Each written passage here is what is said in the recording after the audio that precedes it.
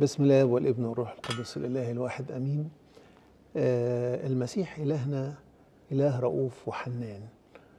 آه في العهد القديم داود النبي كان بيصرخ ويقول يتحنن الله علينا ويباركنا ينر وجهه علينا. آه كان آه كان في بروح النبوة هذا النداء لداود كان بيدعو آه إن شخص المسيح إلهنا يروي كل نفس عطشانة وكل نفس تحتاج إلى الشعور بالأمان والشعور بالحنان. والحقيقة الشعور بالأمان والحنان ده شعور موجود في كل نفس بشرية وبيبتدي مع الإنسان منذ طفولته الأولى بيدور على هذا الشعور في في أمه وفي والده ولحد ما بيكبر الإنسان أيضا بيظل هذا الشعور موجود في كيانه في داخله. لكن في كبره بيحتاج الإنسان إلى نوع آخر من الأمان ونوع آخر من العطف والحنان.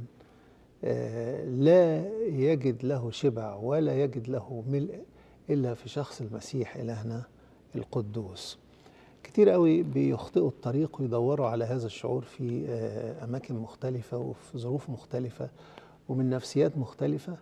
لكنها كلها محاولات خاطئة يعني لا تشبع ولا تروي وبالعكس ممكن تزيد الشعور بالخوف وبالقلق عند الإنسان.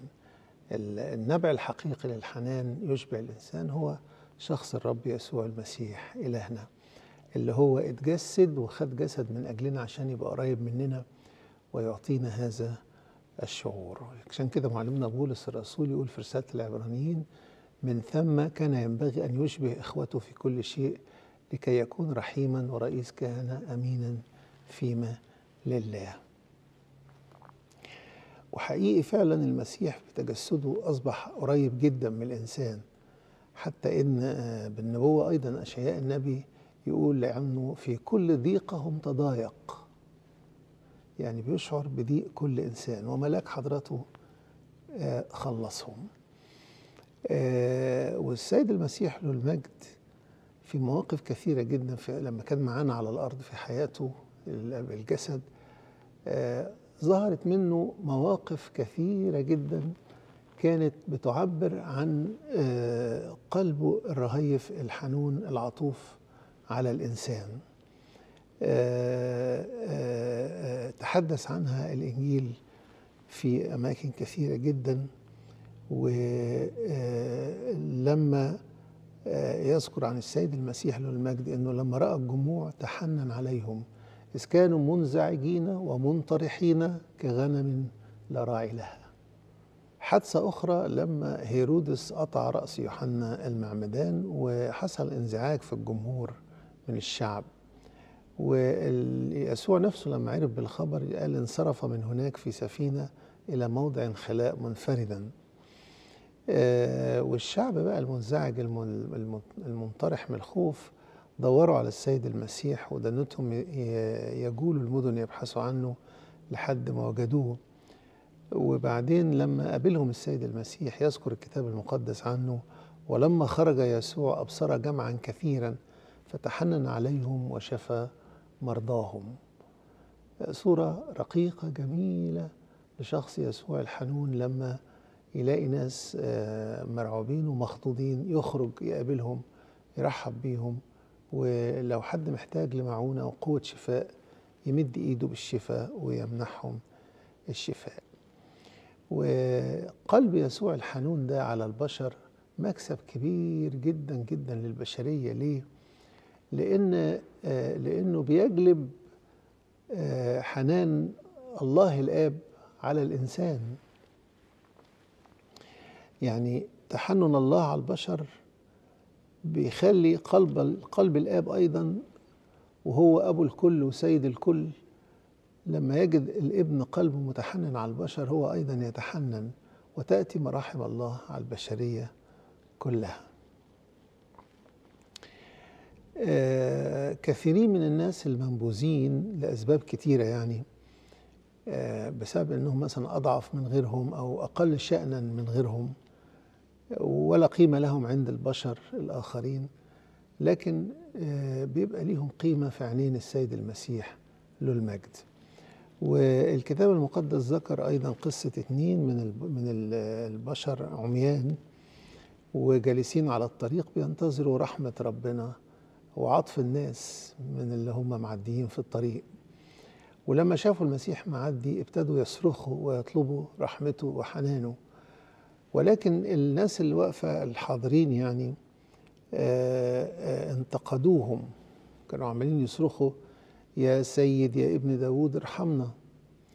فالناس انتقدتهم وصرخت فيهم أنتوا مين؟ أنتوا يعني إيه شأنكم أو يعني إيه وضعكم أنتوا ناس شحاتين غلابة قاعدين مرميين في الشارع كده مستنين أي حد يتصدق عليكم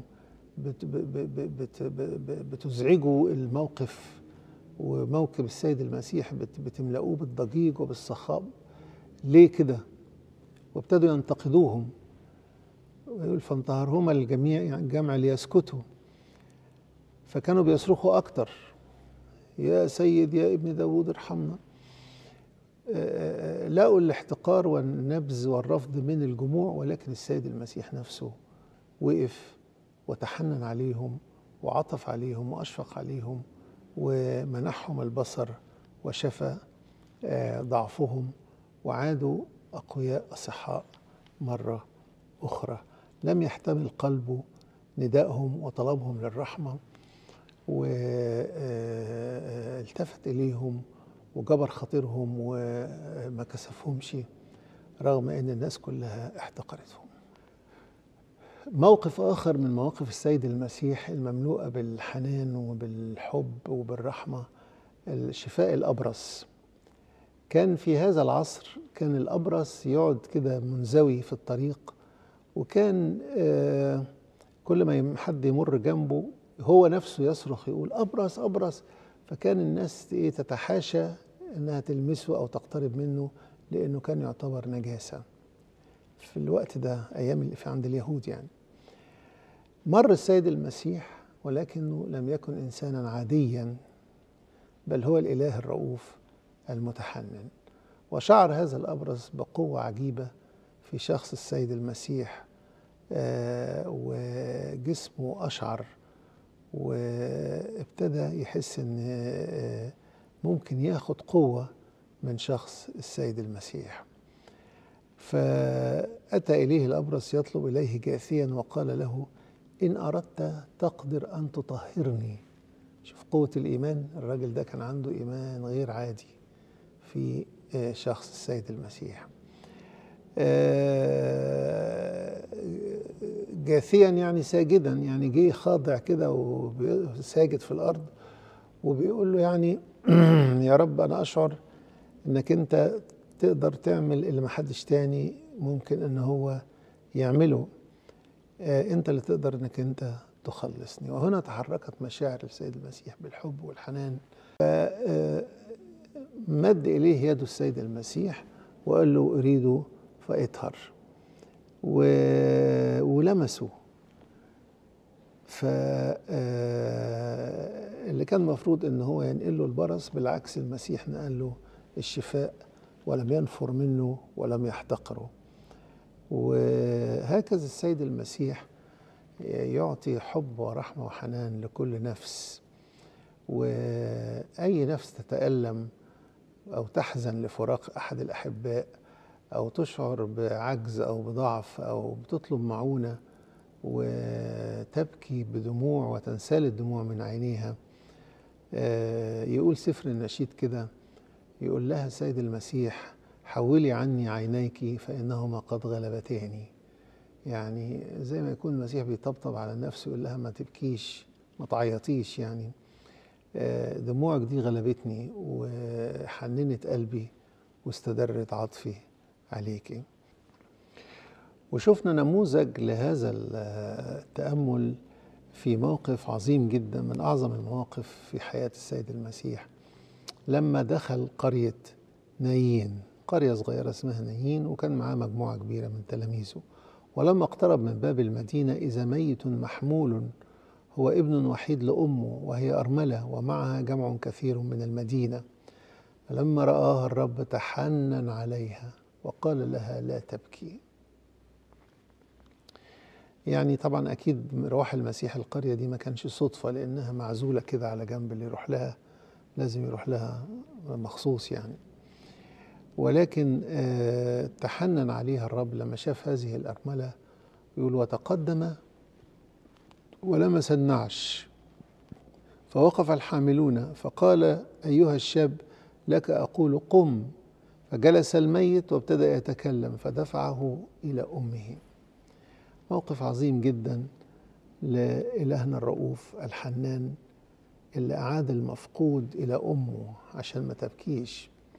وغلب الموت فهو القيامة وهو الحياة وقهر الموت. فهذا هو يسوع الحاضر في كل مكان وفي كل زمان. آه، لما بيلاقي حد بيبكي ويتألم بيروح يقف جنبه ويرفع عنه الحزن والبكاء والألم ويعيد الحياة. وما يرتاحش أبدا إلا لما تدب الحياة مرة أخرى في نفس هذا الميت المحمول. آه، هو مستعد دايما إن هو يفعل كل شيء من أجل خلاصنا ويغدقنا بالمراحم وبالحنان وبالعطف وبالحب. يتبارك الله في الكنيسة لإلهنا المجد والكرامة إلى الأبد.